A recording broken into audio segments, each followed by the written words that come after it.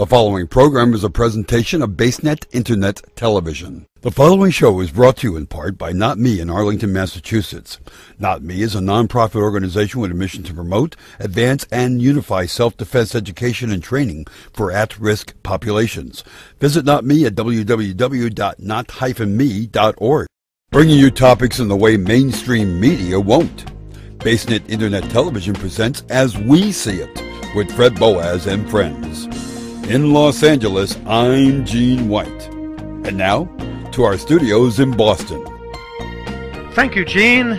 And hello again, everybody, and welcome to another exciting adventure on As We See It. This is show number 46, being recorded on Sunday, June 17th, 2012, which is Father's Day. Happy Father's Day to any fathers in our cast here of thousands or in our listeners of a few. From the city that was built on rock and roll, Boston, Massachusetts, I'm Ed Jupin. Out in the Pocono Mountains of Pennsylvania, we have Fred Boaz. Out in the wild, wild Midwest, we have Holly Hurley. Up in the frozen tundra of northern Vermont, we have Tony Mazzucco. And back down here in Brookline, Massachusetts, Larry the Lobster. Before we get into things here, my little reference of uh, Boston being the city that was built on rock and roll, any of you music fans there would understand the reference. Myself and Larry the Lobster had the opportunity to see the current version of Starship, the band, in Boston. And I'll tell everybody this if you get the opportunity to see this band, and it's the first time I've actually seen them in any of their variations over the 40, 50 years that they've been in existence, from Jefferson Starship to the Starship today, they are awesome. Incredible. They perform their songs from their entire library, going all the way back to Jefferson Airplane in the 60s, with what I guess was their first hit, White Rabbit all the way up to current days. Mickey uh, Thomas is in charge of the band currently, lead singer, and you could say, for all intents and purposes, it's his band. He's been with Starship since the Jefferson Starship days in 1979. Prior to that, he was a solo artist and also a singer with the Elvin Bishop Group. And probably most people outside of his Starship fame would remember him as being the lead singer on the super mega hit from the 70s, Fooled Around and Fell in Love, which he did with Elvin Bishop. That was in the mid 70s. Playing the role, as they say, of Grace Slick these days is a girl by the name of Stephanie Calvert. Stephanie has been with Starship for a few years now. My first thought, trepidation of going into this concert, never having even seen Starship live, was how is somebody going to replace Grace Slick. She's phenomenal. So check out her work or their work on YouTube or wherever else you could find it. Give a listen and a watch. Quite incredible. So if you get a chance to see Starship while they're out on tour, or on this current tour, do so. So, how is everybody? Is Starship now one of our sponsors? No, it's just that they blew me away, and I think Larry would agree with me. It was a very good concert, and like very I said, good. I with all of the bands that I've seen in my life, and have even worked concerts in my prior careers along with you, Fred. I'll tell you, with some of the big names I've seen, this current reincarnation of Starship ranks up near the top. They're really that good. They nailed it. That's what we want to hear. So, what do you have? I got lots and lots of stuff. Uh, and we're going to start off with no bit, a death today. Rodney King, the if you remember from your history, the gentleman who was, we saw videos of him being beaten by the Los Angeles Police Department back in the 1980s, died today at 48 years old.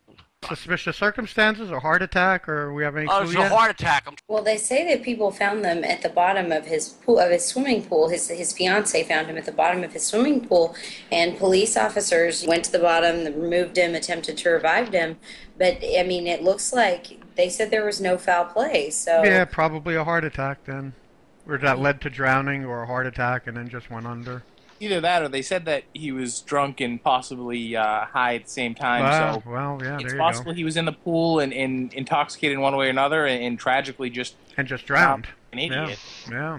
The thing that people have to remember about what happened, the Rodney King incident, the beating of Rodney King by the Los Angeles Police Department, It was like 20 years ago, it exactly, right? Years, Didn't it just pass its 20th anniversary?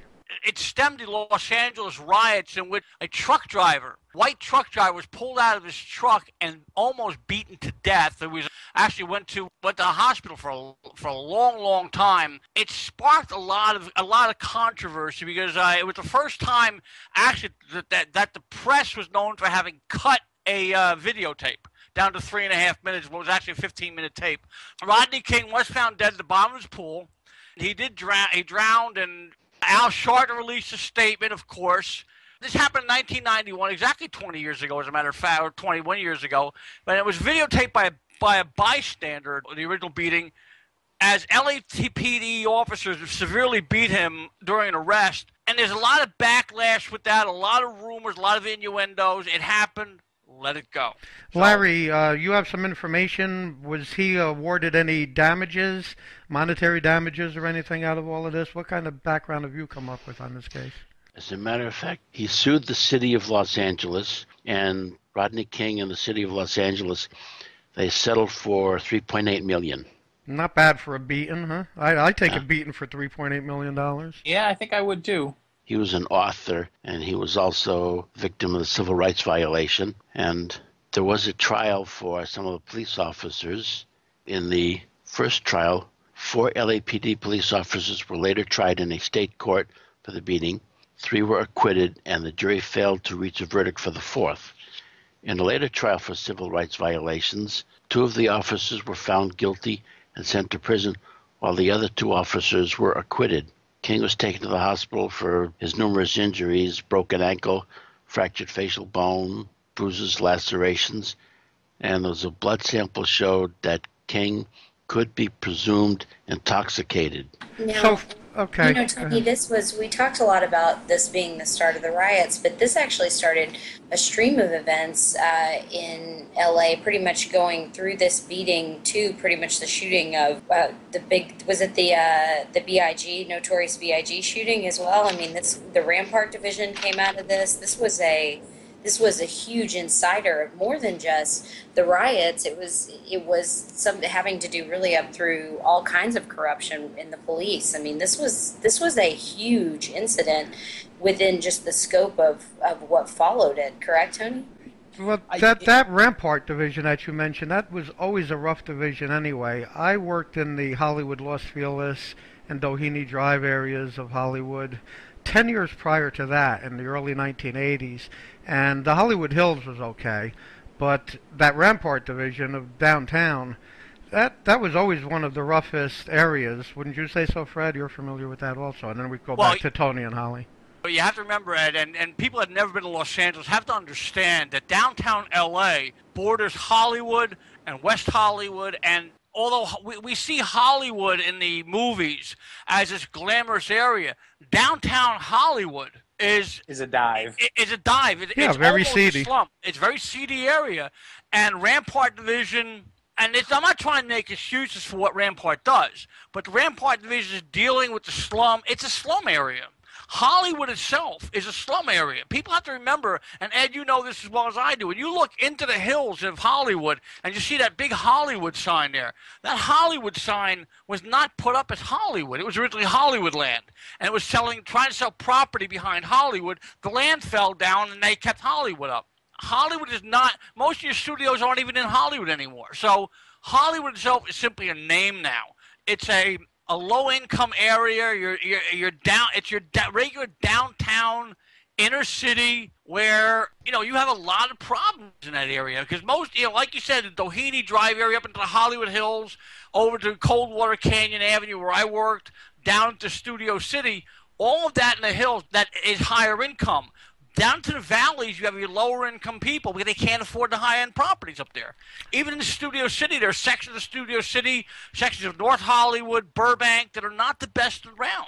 And a lot of them are industrial areas. Holly, you were going to say, and then take your conversation with Tony. Well, uh, essentially, I believe this is what led to the sort of tightening of tightening of the hold. I guess the police were trying to tighten their hold on the area, and they gave a lot of license to the Rampart Division, which is sort of what led to the corruption that eventually led to a police officer being in the car. allegedly, police officers were protecting Tupac at the time. I, that it got on the border of they weren't they weren't any longer being the protectors, they were being a part of the problem, and then it then it became necessary to make other really look into allegations of all kinds of corruption within the police department there in LA. And at this point, you know, things have been cleaned up quite a bit, but it took a serious downward spiral, of which the most people cite the Rodney King beatings as the beginning of that of that spiral and the beginning of that investigation. Because even though there was corruption before, this was such a blatantly open display that no one could argue with the fact that something absolutely unacceptable happened here. Right. This was one of those cases where, you know, if you put it in the context of the early 90s, this was the post Cold War era, and, and, a lot of people had thought that, you know, maybe we were in a post racial era. And all of a sudden, this, this video comes out. It shocked a lot of people. And it was LA, too. So it wasn't like this was happening somewhere down south where people, not to say that they would excuse it, but, you know, you might still expect it. And I think it just shocked a lot of people. And then the violence of the riots I think, shocked the country at the time. They hadn't seen anything like that in quite a while. It had been, I don't know, 10, 15 years. 30 years to the mid 60s, yeah, right? more since they had seen anything like that. And these, these were, again, some of the first modern riots you've seen. And I don't know really the extent that we've seen anything since in the country on such a scale. And I mean, the media was all over it, so everyone knew about it. I remember I was a kid at the time, but I knew what was going on in LA. I knew about the riots. I remember reading about Rodney King. It was a few years later that Tupac was shot. I remember actually specifically September of 1996, so about four or five years later. But it was a very, a very interesting event that really picked at the conscience of the country at the time. And you know, he's famous for his "Can't We All Just Get Along," which was mercilessly mocked for probably close to 10 years after that, and finally uh, started to die out. But it, it was again where people in a modern sense started to say, "Well, wait a minute, is there still police?" police corruption out there or police being overly violent I think a lot of these issues had kind of gone by the wayside as the country focused on other issues for a while. And then again, as the Cold War came to an end, the early 90s was an era, you know, at least politically, of everyone sort of wondering what's next and thinking, hey, didn't we win? Shouldn't everything be good from here on in? The Rodney King kind of, I think, brought the country back to a time it thought it had moved past. I'm going to have to go negative here.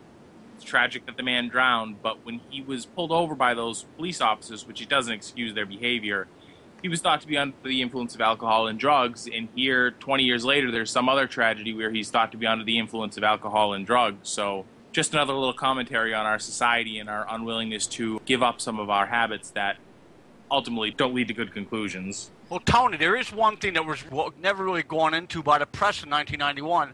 That's the fact that the LAPD was the end of the story. The beginning of the story is a felony speeding chase right. that went for over 30 miles through Los Angeles County. And when Rodney King was finally ejected, brought out of the car, he had officers telling him, stay down. And he kept getting up. Stay down. He kept getting up. Stay. When a man with a gun tells you to stay down, you stay down. Now, I don't excuse what the LAPD did. That's wrong. And, you know, let, let me make that, that point perfectly clear. What they did was wrong. But when a police officer tells you, stay down, you stay down.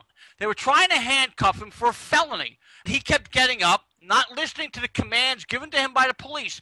What they did, again, I'm going to repeat this, was absolutely uncategorically wrong. They should not have went uh, gone the way they did. But you're talking about a, very large man under the influence of alcohol, possibly under the influence of drugs, who's not listening to the commands of the police at a felony traffic stop. That I'm not saying they were right, I, but they're I, still, but they're know, still doing their job, or they still have a job to do. And, that, and that's they still have a job to do. And if he doesn't listen, how else are you going to control someone that is that belligerent? Because Ed, you and I have both worked in that type of situation. What do you do? I mean, the only other thing you have to take them down. You have to you take them down. Them you don't let them get away. You have to take them down. And what happened? The press didn't show the entire 18 and a half minute video. They only showed three and a half minutes of the beating. They right, didn't show him being extricated. They didn't show him being asked to cooperate. Please don't get up. Stay down. Stay down. And he kept getting up, challenging the police officers. What they did, yeah, we're going to say it again. What they did was wrong. How they handled it was wrong. But when it, when you're told and you keep challenging these people, what else are they supposed to do? They got to make split second decisions. You're right, and you know it, it brings up the recent Trayvon Martin issue uh, incident, whatever you want to call it, which was tragic, but was also a case where the media began releasing information in a very doctored way that would change your perception of what actually happened. And the media was very selective in the way they edited some of the conversations. Hey, the media loves doing that, Tony. You know as well in Well, they your, do, in, in your field of whether I'm wrong about politics. anything, You know, they, just- they only give you sound bites, and, and they could they could spin it. You know, the media could spin it in a certain direction.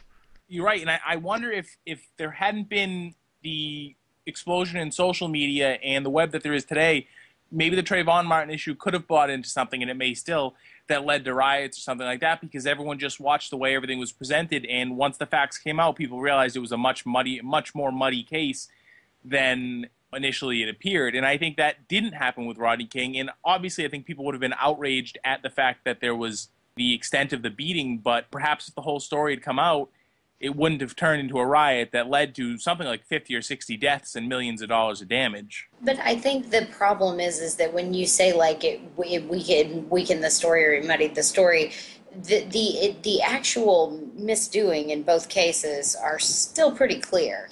They're still there.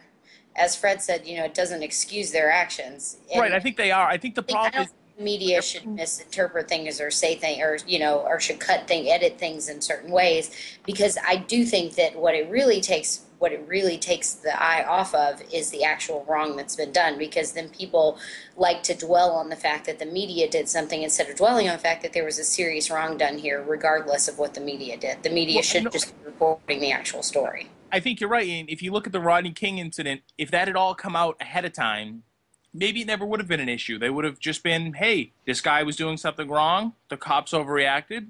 They should be punished. End of story. The Trayvon issue is a little different, but it might have been the same thing. When the media does stuff like that, it gets so hyped up and people's emotions get going and they're running in, you know, at 110 miles per hour.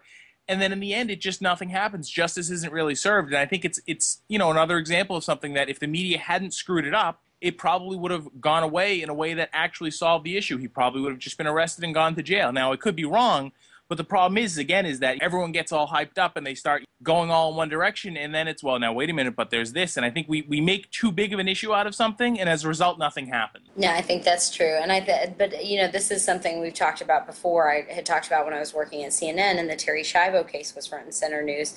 That re- a lot of real news lost a lot of airtime because we were all talking about what people were doing in Terri Schiavo's backyard. It, we, well, you mentioned that story once. That story's over, you know. But America's fascination and the fact that news channels are now fighting for ratings, I think it just goes back to the whole reason BaseNet was created and the reason we're all here is that they're all fighting for ratings. They're not necessarily interested in reporting the story. I was going to say, hence the birth of After Dark, correct, Fred? Absolutely. All right, so Shall we? Un- uh, yeah, unfortunately, he's no longer with us, so that's sad news to report today. But we had to go into a little bit more depth on the backstory. What's next? Larry, it's up to you with your lobster tails or laws or whatever the hell it is. Number one, your ribs move about 5 million times a year every time you breathe. Number two, in 1880s England, pants was considered a dirty word. Number three, Liz, in Ohio, one must have a license to keep a bear. Number four, in Colorado, a pet, if loose, must have a tail light. Okay, the license to keep a bear in Colorado.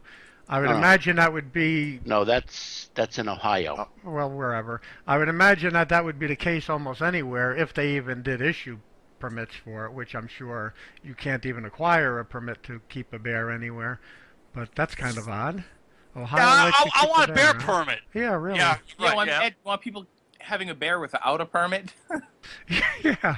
That's just strange. A bear, bear we need a per, well, a permit to keep a bear. I, I mean, I guess it, it, they, I'm sure they're talking about commercial enterprises, not people having them in their homes. At least I hope they are. I would hope. I don't know. Ohio's one of those weird states. You never know what people are getting out to out there. Yeah. Well, so what? we- What was that fourth one, Larry? We had a tail light and an animal outside. Colorado, a pet cat, if loose, must have a tail light. A pet What? A cat pet cat, if loose, might have a must, must have a tail, light. Must so have a that you tail don't light, get yeah. it with a car, I guess. Wow. What do you say about that?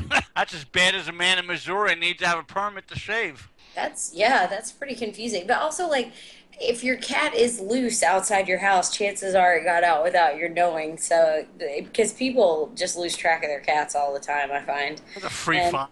But isn't this tail light probably going to be heavier than the damn cat? How how would that even work theoretically. Well, and I wonder if in this area somebody actually made tail lights at some point. Oh, God, that's hmm. crazy. What does that product look like? Tail light. Yeah, tail light. Kind of yeah, like she- lobster tails. We'll send you, well, act now. We'll send you two. So what are number one and two? Before we get back to that, if the pet has to have a tail light, what if the cat is also required to have left and right turn signals? Okay, I think we move on to numbers one and two. Number one, Larry. Your ribs move about 5 million times a year every time you breathe. Okay, Holly, you're the physical pet fitness Hold, person. hold on, hold on. I, I'm gonna call bullshit on that one. If my ribs were moving that much, I'd lose a little bit more weight, especially with all the breathing I do. How is it that doesn't burn any calories? You're telling me my ribs are working all day long and I'm not losing any weight? All day and all night. It does burn calories. It's just not enough. right. No, Tony, that's- Tony, that means Tony, that means you can't eat three pizzas a day and still expect to lose weight. But I breathe a lot. What's it, the breathing diet? Yeah. it should be. According to Larry, I, I should just breathe all day long. I should be able to lose some weight. Oh, God. Well, maybe. So that does well, work, Holly, you would say?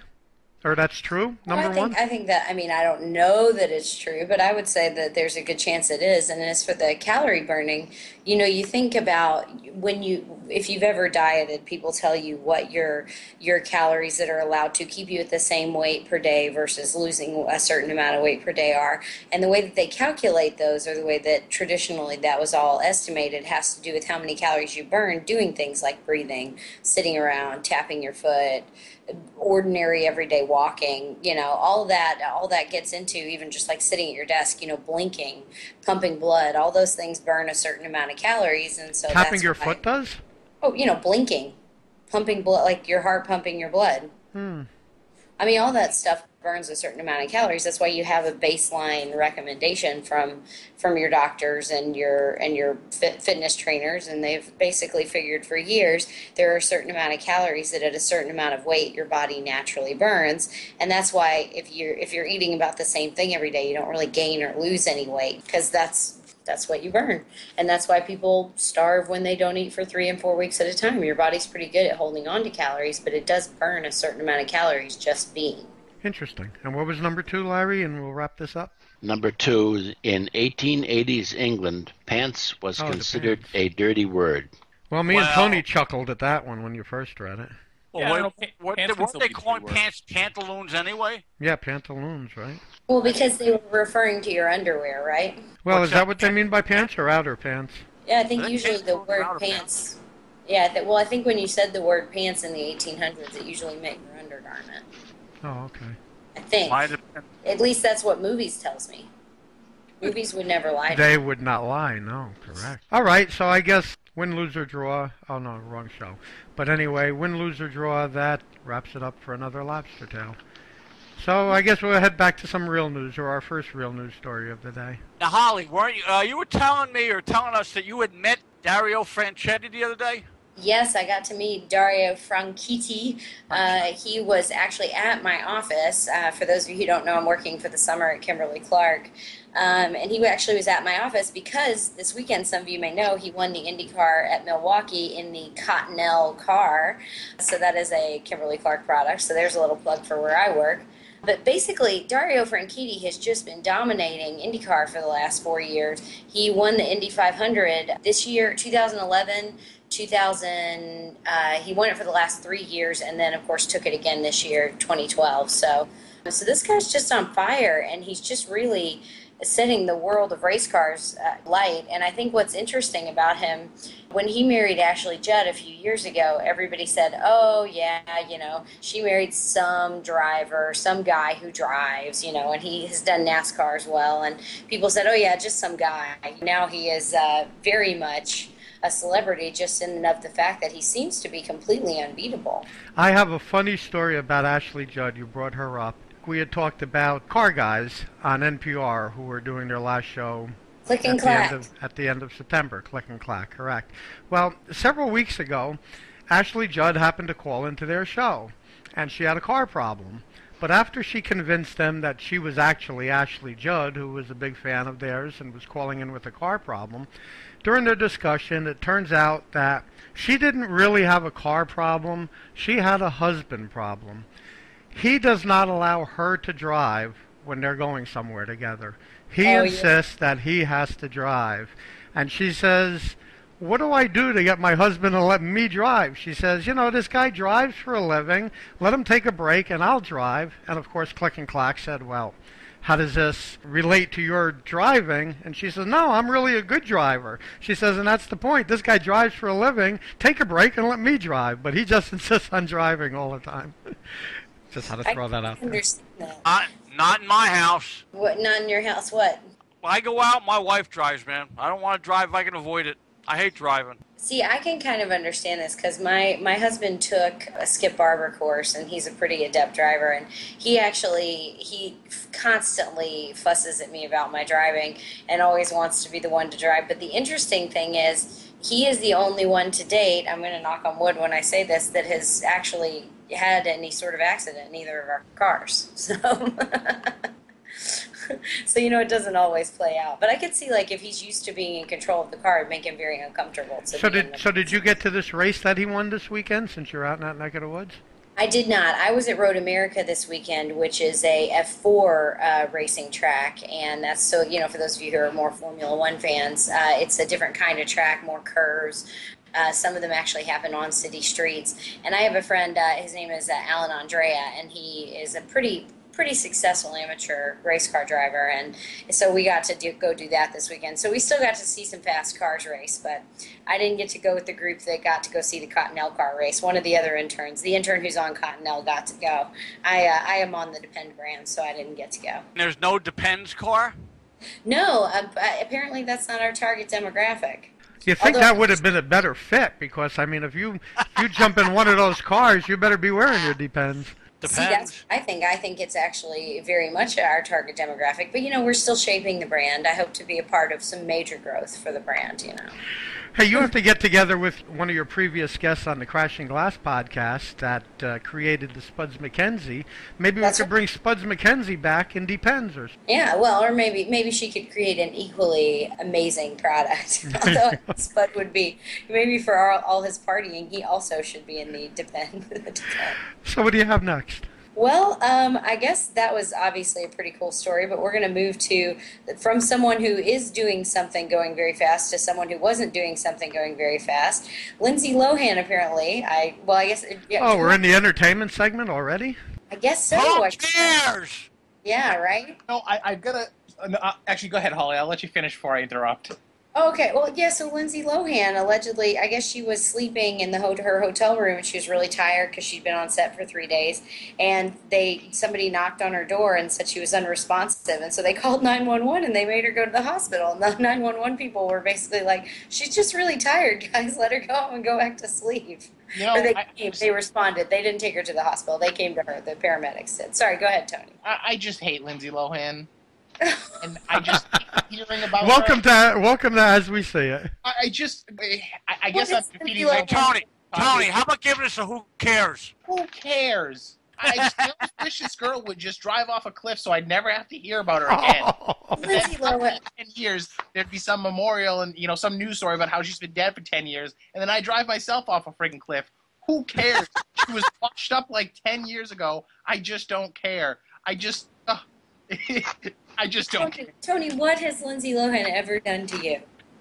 Every, I'm addicted to the news, and every time I turn on the TV, it's something else about her, and I just don't care. For Christ's sakes, these stories go on and on. It's like watching paint dry. She's drunk, or she's in court, or she's The same story over and over and over.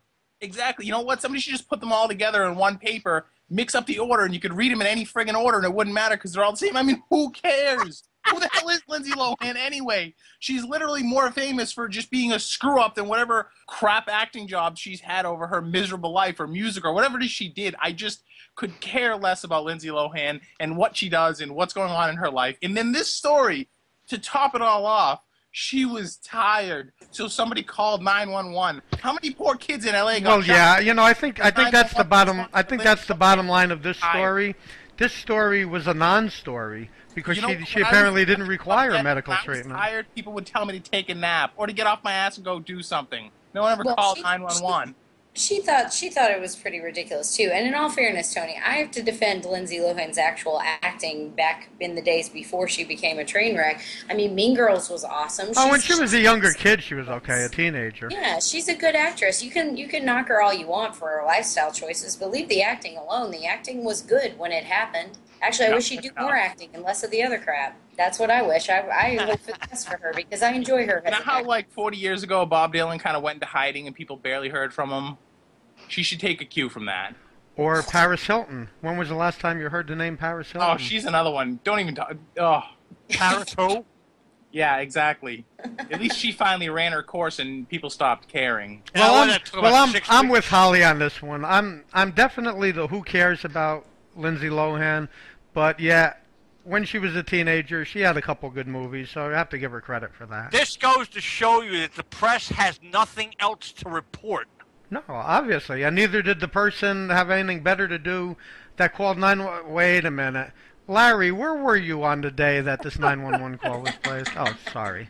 Hey, Larry, were you at Bruegger's? I wasn't at Bruegger's, but I certainly but was. he was on the not- phone calling nine one one. Yeah, maybe Well- it was. Well, was Lindsay Lohan blocking a fire hydrant? Oh, God. So, from people who have nothing to do and were doing nothing for attention but got attention anyway, to Nik Wallenda, who crossed Niagara Falls on a tightrope, getting a lot of attention for doing something really crazy. Did anybody see this? Uh, I not saw- not live rain. I saw the YouTube or the I you saw know the the YouTube news thing, yeah. reports. Yeah.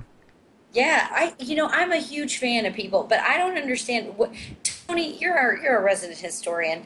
At what point did people start trying to do crazy stuff over Niagara Falls? Like in America, this seems to be a long-standing tradition, and I'm still trying to figure out what the appeal is of Niagara Falls specifically as a as a place for stunts. You know, the going over in barrels, the walking across on tightropes, the swimming in it. The you know, wh- when did this Yeah, start? there's, there's other fairly big falls ju- just right here on the East Coast in Paterson, New Jersey. You have Patter- so-called Paterson Falls Yeah, Ed, that that span the Passaic River, but people don't try jumping over that. yeah, and I think They- Chris Christie's paying you to plug New Jersey every hour on the hour.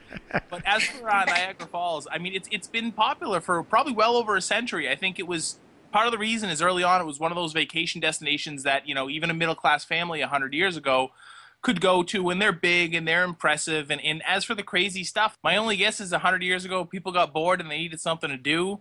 There were a lot of news stories about stuff like this back then because it really gathered the public interest in the same way that it does today. It was people doing, you know, extraordinary feats and, and you know, interesting stuff that. Hey, you know, we're talking about Lindsay Lohan. Back then, they talked about people going over the falls in a barrel. Yeah, and Oh. now this nut job, I mean, God bless him and, and you know, more power to him, but walking across on a tightrope.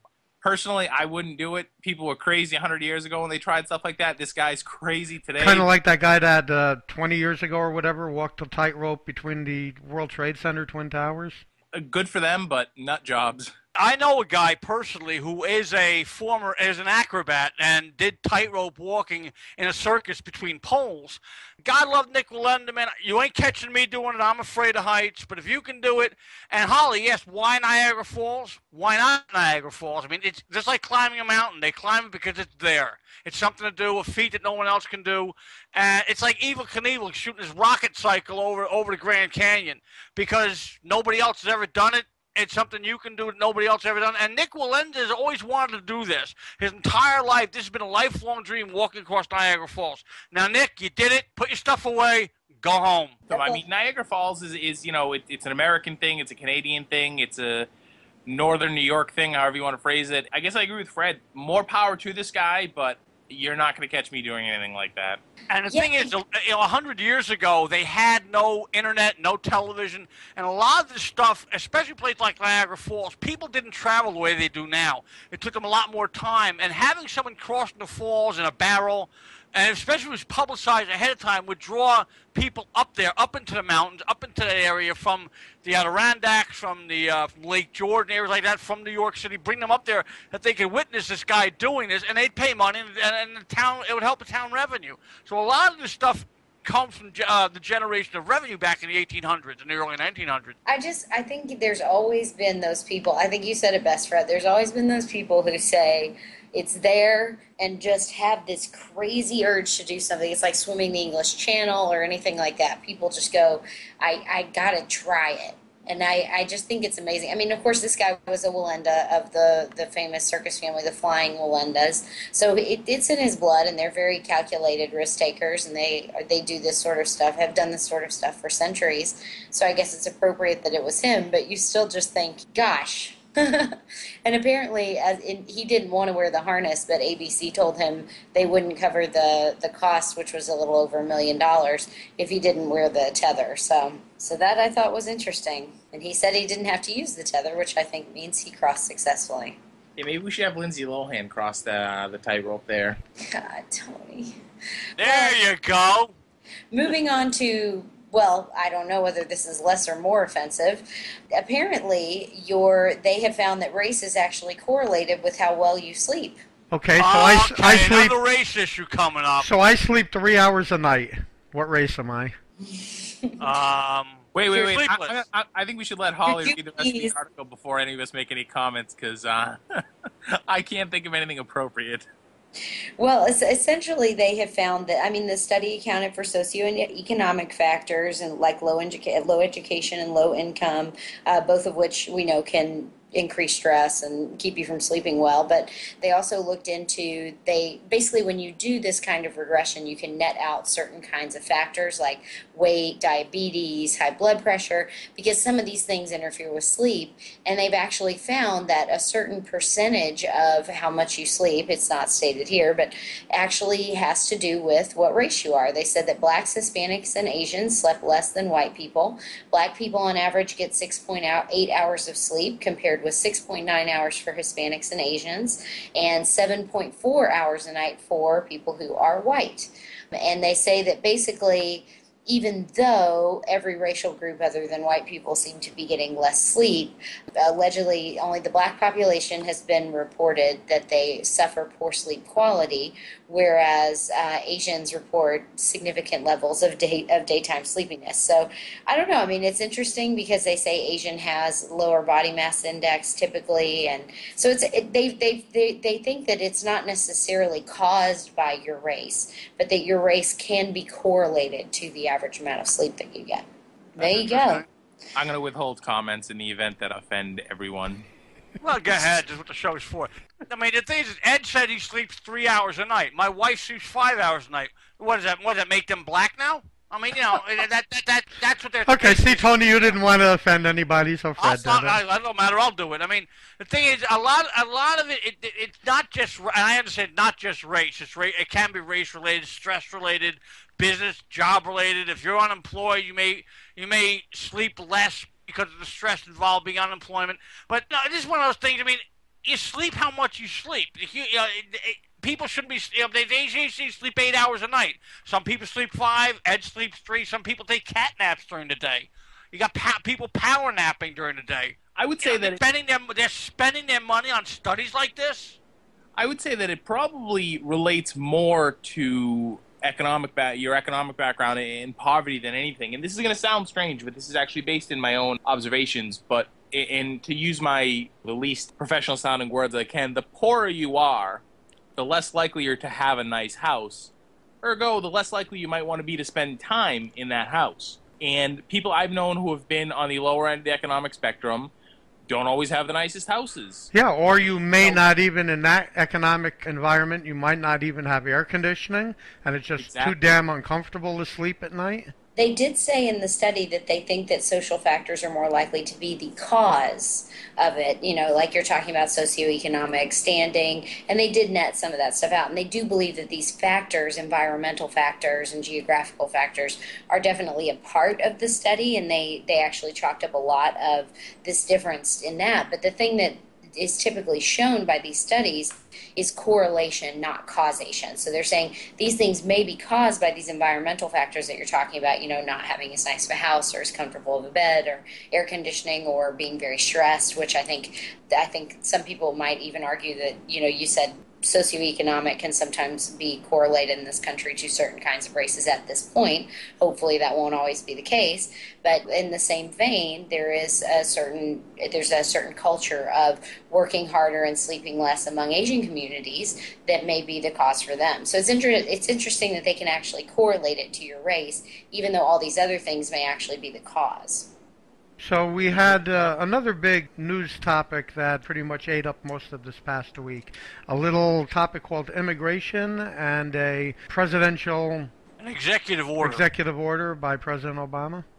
Actually, I think what really should be done if these undocumented immigrants want citizenship, whether they have to comply with the two years, I think that if you want citizenship, you should be taken into custody by ICE and you can apply for citizenship right then and there when you cross the border instead now, of Larry, in all fairness to, the, to, to what's going on, a lot of these people are uh, that the president wants to grant the, I guess, immunity to, for lack of a better word, is that these are people that a lot of them are kids of people that came here on their own, the kids that may have been born here kids that are under uh, up to the age of 30 years old. Many were brought here against their will, and he wants to give them an opportunity to basically to have the same opportunity as citizens. The problem I have with it is that their parents have broken the law and have done nothing in the time that they've been here to rectify that situation. We've talked about this in other shows that there are other, and I don't tout what goes on in Europe, but I know from what my mother's told me that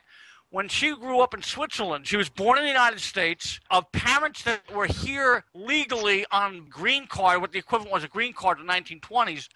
Were not expected to return. We recalled back uh, to Europe when Hitler attacked Poland. They, you know, when my mother married my father, who was not a Swiss citizen, her Swiss citizenship was pulled you didn't get it automatically. When you're a guest worker from another country and your child is born in Switzerland, they are born of the country that you live in, not the country of Switzerland, because they cherish their citizenship and we give it away like candy. Now, I understand why this happened. That during the 1920s, 30s, 40s, we're trying to populate the country. We're bringing in all the people from overseas and streamlining them through the citizenship, allowing them their children to have automatic citizenship was a great idea. But these people came here, most of them, with the intention of becoming United States citizens. The problem we're having now is people crossing the border knowing that they're breaking the law.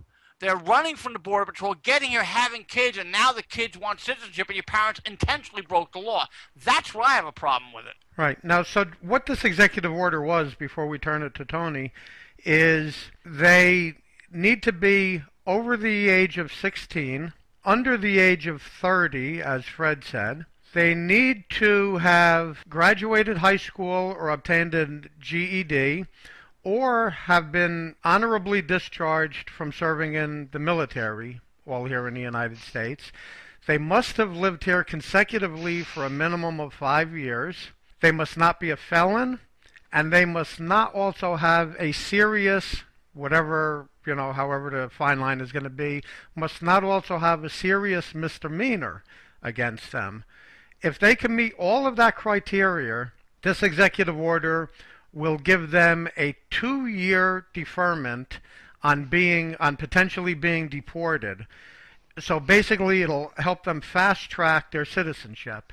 If they don't get their ducks in a row in that two-year deferment period, and the two years runs out, at that point they are open to being deported.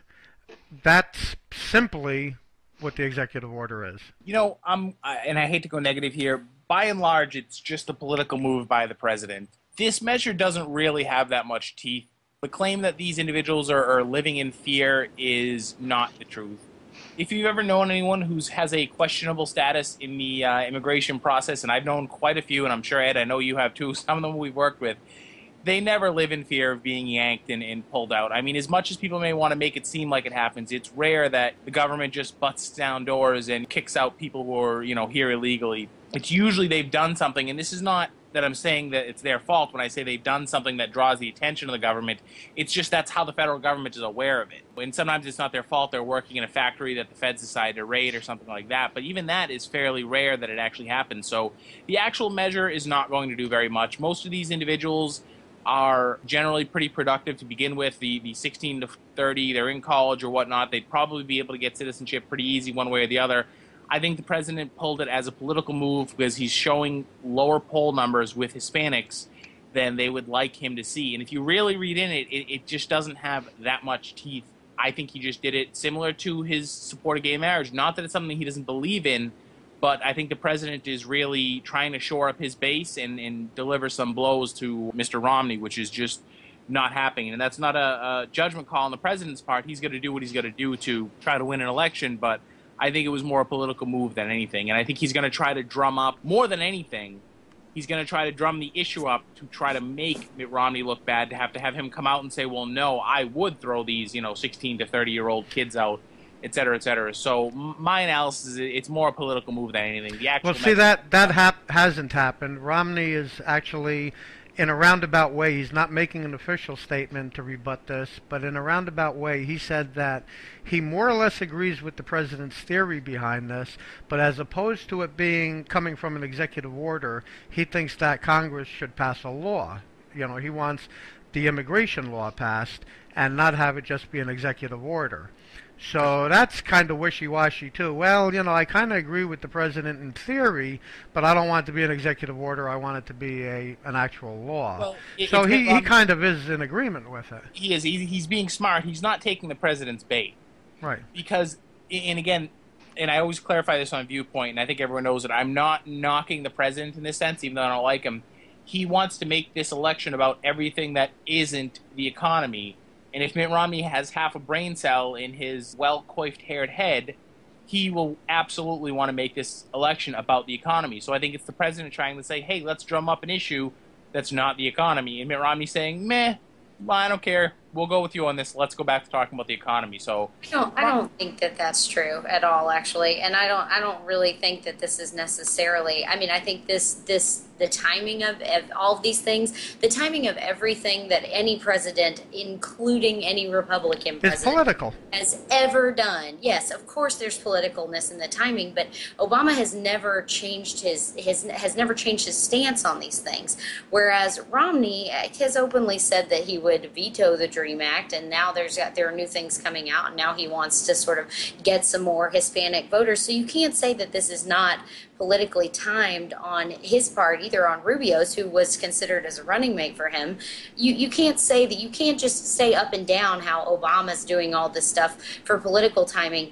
They're both they're both doing things for political timing, obviously. And when it comes to when it comes to the Republican Party, they're also trying to they're they're scrambling a little bit to try to get voters that they have previous to this actually purposefully alienated with all with all kinds of policies about about wanting to immigrate and all this sort of stuff not wanting to get immigrants out of the country. The best thing, the best So- thing they can do in this country is change the immigration laws to make it easier for these people to get in. Do it through Congress. Get the immigration laws changed so that they fit the time that we live in. Be a Republican, Democrat, because neither side is moving on the immigration issue except passing laws that are granting people who broke the law uh, rewarding them. Take these people and say, look, you're here. Here's what you do to get citizenship. Make it a streamlined process that doesn't take more than a year to get your citizenship. Because sitting around for five years going to 17 interviews is just stupid. And I'll tell you, the only reason I'm behind this executive order is, and I am behind it, is because it's just a way, it's a short term fix, as everyone, including the president, announced that it's a short term fix to this problem, to help fast track this certain group of only 800,000 people out of like the 19 million illegal immigrants or aliens here. 19 million. This only affects about 800,000. Over a two year period, it'll help fast track those 800,000 to citizenship. Well, you know what? Get them the hell off of the illegal list and let them get their citizenship. 800,000 people, help fast track them. It's a short term fix. This isn't a law. This isn't anything permanent. We still have to come up with the immigration reform. It's a short term fix. And looking at it in that light, that's why I'm in favor of it. I think that was going from one kind of hotly political topic here in America to one over in Japan. Uh, they're saying they're going to restart their nuclear reactors, despite Uh, the fear behind that. That's a hot topic. Yeah, It's no a hot topic. Of, I, I don't know why. The problem is with with the with the restart of this thing. I want to know what they're going to do to inc- to to ensure the safety of this plant after the last one that went bad in Japan. I say cover it in concrete like they did Chernobyl in Russia. Here's See, the thing. I don't have a problem because I don't have a problem with nuclear power in and of itself. I have a problem with when something happens, they have no way of fixing it. I worked at the Diablo Canyon nu- er, nuclear power plant in Avila Beach, California, as security for a number of years, and these people had no provisions that in case something happens, what in the hell do we do? You, know, you can contain as much as you want to. In and of itself, nuclear power is cheap. It works. We know it works because we're using And our nuclear safe. submarines. And the problem is, is that you know we had just had a disaster in Japan, just had a dis- disaster in Chernobyl. I don't want more stuff floating over to our shores from Japan that is contaminated. And you had Three Mile Island right there in your backyard uh, in 1979. Nuclear power has proven, and, and I'm a fan of it over the periods of time, to be exceptionally safe. The problem in Japan, other than the fact that it was nearly a 40 year old plant, and they're not building plants there or here as fast as they should, and we're actually in the process of losing the technological ability to do it. They were built to standards 40 years ago. If you had an earthquake of that magnitude and a tsunami of that magnitude that occurred that close to Boston, the city of Boston would be gone and never come back partially because Boston's built on swamps and you know that wouldn't happen. But people forget about that. The Fuka, Fukushima plant, I believe I'm saying it right. The big problem there was the tsunami followed by the earthquake. You almost can't build a plant to be safe for either of those. Now Chernobyl, we all know was a situation where they didn't want to shut one down and they didn't want to shut the other down and they were trying to stay in favor with the party bosses and somehow that led to a nuclear explosion and it was a tragedy. I don't mean to deny that, but I mean any other city in the United States or the world if you had a tsunami and an earthquake of, of that magnitude, you know, the nuclear power is the least of your concerns. Again, if that had happened that close to Boston or to New York, there'd be a whole lot more damage than the one nuclear plant could happen. As for them restarting it, you know, I'm not a nuclear engineer. I don't know if that's a good idea or a bright idea. I would hope they've checked it out properly, but I, Well, I just, think I think the the actual public there in Japan is is nervous about this for the reasons that you stated. This is a country that has had several earthquakes and tsunamis over the last few years, and they really feel like, regardless of what they feel about nuclear power, they're just really not sure this is the right place for it for those reasons. And I think there's they have a valid point, and I'm sure the Japanese government doesn't ever approach anything lightly. I think it's fairly safe to say, but it, so if they're going to allow this to reopen, there's probably a very good reason for it reopening too. But I can understand why why the Japanese people are sort of not fans of the plan. You know, once you've been in a situation like this, you don't really want to. You really don't want it to happen again. Yeah, other than you know Japan, I've always found it interesting that the the only nation that's ever had a, an atomic bomb used against it is otherwise wholeheartedly embraces nuclear power. Now, part of that's because the country has zero natural resources, but I've always found that, that that's pretty interesting. But if you notice the way Japan's history has worked in the last 100 or 200 years, they do approach things very cautiously. And I think you're right. You bring up a point. The Japanese government doesn't seem to just sort of do anything willy nilly. It's not like they're, you know, Australia or some other country that just sort of flies off the handle. No offense to any Aussies out there. I, I would think that they've taken all the right steps to make sure this isn't going to happen again. And I think going for, going forward, you'll see more reform and more smart reform there in how their plants are built and protected than you would see in another country where it might get bogged down in politics. I think they're going to do it right going forward. Whereas, again, if this happens somewhere else, the solution might be nope, it's bad, don't do it, shut everything off, and never go near it again. I mean, I, I think that I think that it's one of those knee jerk reactions that you know the public has. After September 11th, we all had our knee jerk reactions, and I think every public that has had a scare has a knee jerk reaction. So it'll be interesting to see sort of how this goes forward. And I think this is, I mean, this may not be related to this specific incidents, but I mean, Japan's use of tariffs is really been a genius way for them to keep things going. You know, so so that you mentioning they not have nat- national resources. I mean, they are very good at making financial decisions, though. At least in the last Right, they, they, they absolutely are. And I think that's why things like Toyota for so many years have been such a high quality and Japanese goods are known for being a high quality is they realize that they need to export, and we're going a little off topic here, but they need to export that quality because it's all they have, because they're a country that doesn't have the natural resources that the United States or Russia, for instance, has, or, or all of Africa. So they realize that that quality is sort of what they're able to export to make up for the fact that they don't have huge mines and oil deposits and, and forests and all that jazz, and that there's 130 million people crammed on a tiny couple of islands So uh, Yeah, but it's, it's also a cultural difference. These people have a pride in their work that Oh, their absolutely. work is their work is the most important thing. That if they per that if their company fails, they have personally failed. If that car comes back in because of a problem, they have personally failed, and it's a, it's an attitude that this country has lost because Yes, you know in that I mean they're they're recalling now a bunch of cars because of a drivetrain. They said "Oh, we installed it improperly. Bring your car in. We will take care of it for you.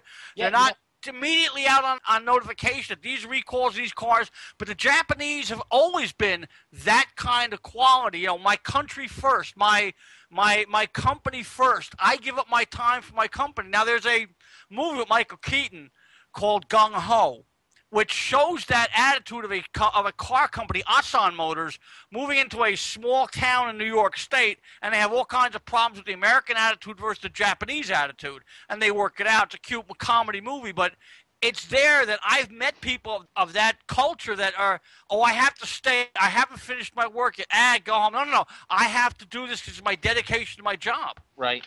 And I think that's why I, I have faith that if they're restarting this plant, that it's going to be a good thing and that they've taken care of whatever it is they need to take care of. Now, we are again talking about very, very complex. I mean, I couldn't even begin to imagine how a nuclear power plant actually operates. So you never know what's going to happen, and I can understand their concern. But I have a feeling that they would make sure it's done right. I mean, I remember some of the workers going back in trying to plug one of the leaks or something, knowing that it was very radioactive, but it was that same dedication that they knew they had to do it and they had to make it right, and they were willing to do whatever it took. Yeah, so I guess, Uh-huh. do you guys have anything else on your plate for this week?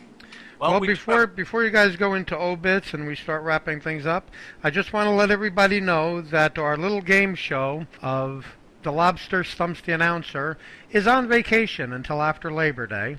Larry the Lobster won fir- the first round of the show, so he leads the series one segment to none, and it will return shortly after Labor Day, along with Gene White. So stay tuned after Labor Day for the Lobster Stumps the Announcer.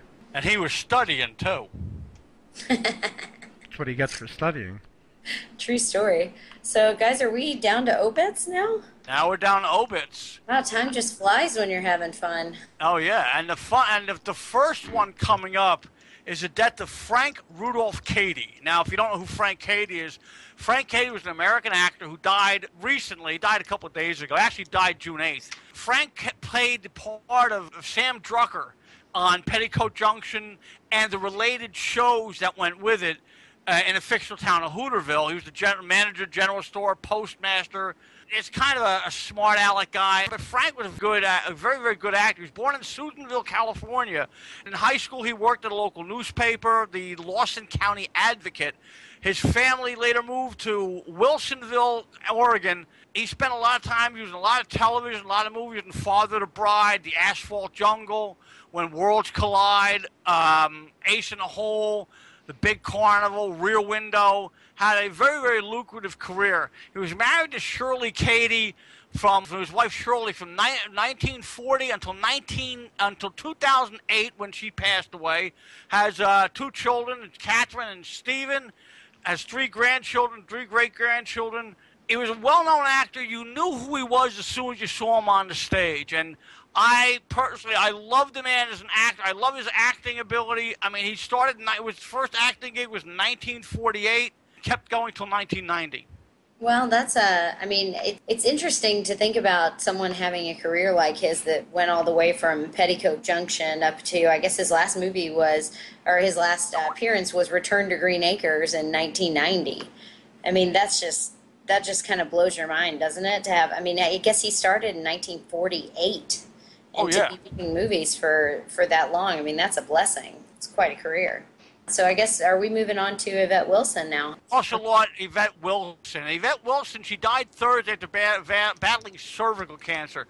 She was an actress best known for her role on the UPN sitcom Moesha as Andrea Wilkerson. Now, I never saw the show, really don't know who the woman is, but in reading her bio, she actually did quite a bit. According to TMZ, Wilson had a stage four cancer at the time of her death. That just mm-hmm. scared the hell out of me because You know, I know a few people have had breast cancer and cancers like that, and just scares the hell out of me. But her reaction when they asked, you know, asked them for friends, her people, her friend, her friends had F cancer. It, it's just she's 48 years old. I mean, I'm 56. I'm gonna be 56 in October, and it scares the hell out of me.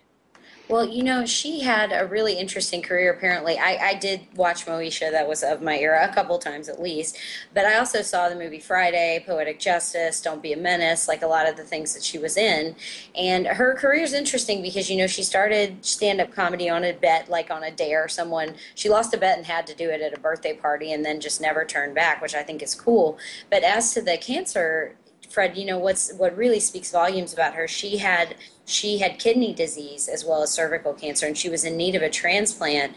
And even at the time of her death, a friend of hers had created a website that raised about 46% of the bills that would be needed to get her that, that kidney transplant. So obviously, she was very much loved by her friends, and just judging by the fact that so much of the other things that happened in her life were going on, it's really it's it's sad that she died at 48, but it's really amazing with those two things going on that she was as prolific as she was and and just got so much done in one lifetime. I mean, having cervical cancer and kidney disease is not something you hear usually people being able to do for a very long time. So it's amazing, and she was a very talented comedian, and I think uh, it's very clear that the entertainment business will miss her presence. Okay, so with that, I guess we're done for another week here on As We See It. And um, just want to remind everybody that you could follow us on all social media sites at BaseNet TV. You could email the show at awsi at basenettv.com. Visit our website, basenettv.com, for all of our programming and look sometime early July for the re-premiere of our flagship show uh, After Dark. I guess that's it, huh? Boy. Hey, What, so- what, what's a re-premiere? Nice and easy. A re-premiere. We're premiering the premiere again. Well, you'll you'll just have to watch and see. It is a re-premiere of sorts. Oh, you know So- I'm watching. Okay, I hope so. We ran even a little longer than normal, but it seems like we had some quite interesting topics here today. So, from Boston, Massachusetts, I'm Ed Jupin. From Swiftwater, Pennsylvania, and the Pocono Mountains, I'm Fred Boaz. From Burlington, Vermont, I am Tony Mazzucco. From Neenah, Wisconsin, I'm Holly Hurley. And from Brookline, Massachusetts, I'm the Lobster. And I want to remind everybody to listen to GMM Radio, all of the best music from the 50s, 60s, 70s, and 80s at gmmradio.com. See you next time.